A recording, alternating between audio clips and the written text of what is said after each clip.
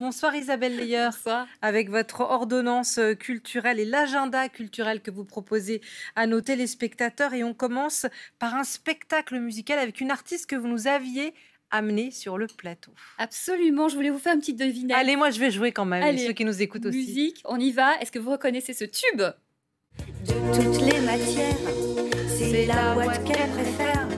Vous le connaissez par cœur en négligé de soi, c'est la Watt. Voilà, c'est la Watt de 2, 2, 2, 2, 2, Caroline. Caroline Loeb. Voilà, depuis euh, Caroline Loeb, elle a arpenté les scènes avec ses concerts, avec euh, ses pièces de théâtre, avec ses mises en scène aussi. Et je peux vous dire qu'en 35 ans, elle en a vu des vertes et des pas mûres. Et ben tout ça, elle nous le raconte dans son spectacle qui s'appelle Chiche. Donc c'est entre anecdotes et très jolis moments musicaux. Alors ça se passe, attention, prenez des notes. Ça se passe à partir du 5 juin à Paris au théâtre de l'Archipel. Ensuite en juillet au Festival Avignon. En plus de Paris, elle fait les deux. Et à Avignon, elle jouera aussi son magnifique spectacle sur Françoise Sagan. Autant vous dire que Caroline Loeb, elle La a le don d'ubiquité. On aimerait bien savoir comment elle fait. En attendant, on regarde tout de suite un extrait de Chiche à Paris à partir du 5 juin. À Toulon s'écorche, au sublime et au moche, à l'ici ou l'ailleurs. Toujours les mêmes encoches, est-ce la peau bien trop fine ou le cœur bien trop proche? Me voilà, sans micro, avec juste le fil. Ben, J'ai continué à chanter dans le fil, comme si de rien n'était. New York est une ville implacable, bercée par un air étonnant, surexcitant et qui ne vous laisse pas de trêve. Ce n'est pas une ville familière, c'est une ville vorace et tendue. New York, New fucking York. Un cocktail d'énergie, de plein d'énergies différentes. Euh, Il y a un livre maintenant, puisqu'on on regarde tout avec vous, Isabelle. Oui. Un livre sur le street. je- J'essaye de copier. Un livre sur le street art XXS. Voilà. Street art, c'est cet art euh, qui fait partie de notre quotidien. On le voit pas toujours, et pourtant il est là sur nos murs et en tout petit. Je vous, je vous le donne parce que ça vaut vraiment la peine de le Merci. C'est vraiment super.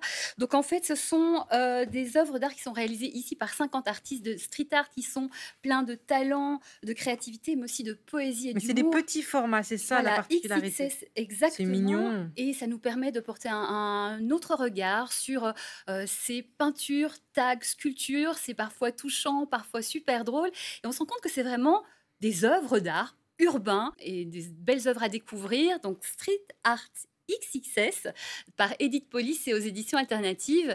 Et si vous voulez plonger encore plus dans le street art et que vous êtes dans la région parisienne, je vous signale cette exposition du photographe Grégory Herp qui s'appelle De Banksy au mur de Berlin. Alors lui, il est parcouru le monde à la recherche de- d'œuvres de, street art, mais en grand format. Et il nous a ramené ses coups de cœur. Ça se passe donc à la mairie du 17e à Paris et c'est jusqu'au 30 juin. C'est vraiment joli, il suffit d'ouvrir les yeux. Merci beaucoup euh, Isabelle, euh, Edith Poli, Street Art XXS aux éditions alternatives. Et puis un tout nouveau festival, euh, on, va voir, on va voir des agendas euh, chargés euh, qui se déroulent en juin à Paris. Voilà, ça s'appelle le Phoenix Festival. Comme l'art qui renaît de ses cendres après le confinement. Son but, c'est d'aider les nouveaux spectacles euh, à se préparer au Festival d'Avignon qui a donc lieu en juillet. Et donc, euh, l'idée, c'est parce que Avignon, c'est hyper important pour euh, les spectacles, c'est-à-dire que quand un spectacle est repéré, il peut tourner pendant un an, voire deux ans. Donc, vous imaginez l'enjeu. C'est aussi l'occasion de montrer au public parisien pour la première fois ses œuvres et aussi à la presse pour peut-être avoir un super bouche à oreille pour Avignon toujours, pour le remplir. Donc Phoenix Festival se passe du 1er au 20 juin à Paris. 18 spectacles qui sont présentés dans 7 théâtres un peu partout euh, dans Paris. Le site internet c'est phoenixfestival.com et euh, une programmation euh, qui a l'air vraiment passionnante, intéressante, enfin vraiment à découvrir sur internet dès maintenant. Je peux plus dénoncer petit site, je peux plus. J'en serais malade, pire, j'en aurais honte. Je dois m'attaquer à la racine du mal. La racine, c'est quoi? La racine, c'est le fric. La racine, c'est le pouvoir. Et personne à Hollywood ne fera rien contre Hitler si je le fais pas moi. Et alors? Les autres, ils foncera après l'orage. donc Et ça va alors? Devenir facile, facile et lucratif. Tu n'empêcheras pas la guerre, Charlie.